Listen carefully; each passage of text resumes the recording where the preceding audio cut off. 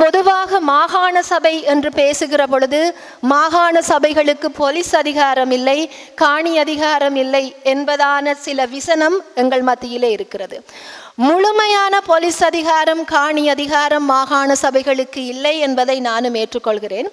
ஆனால் குறிப்பிட்ட அளவு அல்லது சில சொற்ப விவகாரங்களிலே மாகாண போலீஸ் அமைப்பு ஒன்றை உருவாக்கி செயற்படுத்துவதற்கான அதிகாரம் மாகாண சபைக்கு உண்டு.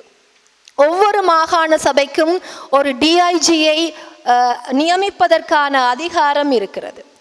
இந்த டிஐஜியை நியமிக்கிற செயற்பாட்டின் பொழுது மாகாண முதலமைச்சரினுடைய கன்கரன்ஸ் கன்சல்டேஷன் இல்லை கன்கரன்ஸ் மாகாண முதலமைச்சரினுடைய அங்கீகாரத்தை பெற வேண்டிய தேவை ஐஜிபிக்கு இருக்கிறது. ஆகவே மாகாண முதலமைச்சர் ஒப்புதல் அளிக்கிற ஒருவரைத்தான் குறிப்பிட்ட மாகாண சபைக்கான டிஐஜியாக நியமிக்க முடியும் என்பதான ஒரு ஏற்பாட்டை எங்களுடைய அரசியலமைப்பு கொண்டிருக்கிறது. ஆகவே மாகாணங்களிலே போலீஸ் போலீஸ் கட்டமைப்பை உருவாக்குவதற்கான செயற்பாடுகளை முன்னெடுப்பதற்கான வழி பதிமூன்றாவது திருத்தச் சட்டத்தினால் உருவாக்கப்பட்டிருக்கிறது.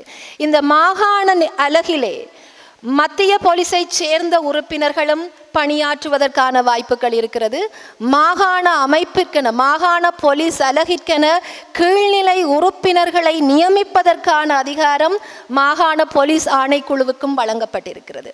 ஆனால் இந்த மாகாண போலீஸ் ஆணைக்குழு எந்தெந்த விடயங்களிலே செயற்படலாம் என்பதிலே நிறைய மட்டுப்பாடுகள் இருக்கின்றன.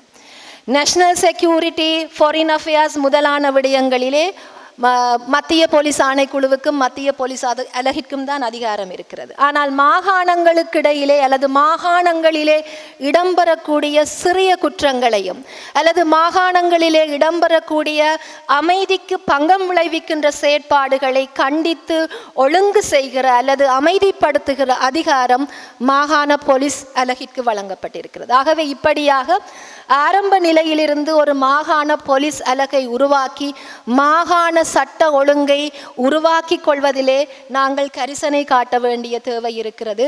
அதிலே இருக்கக்கூடிய முட்டுக்கட்டைகளை தடை தாண்டுவதற்கான பயிற்சியும் தயார்படுத்தலும் எங்களுக்கு தேவைப்படுகிறது.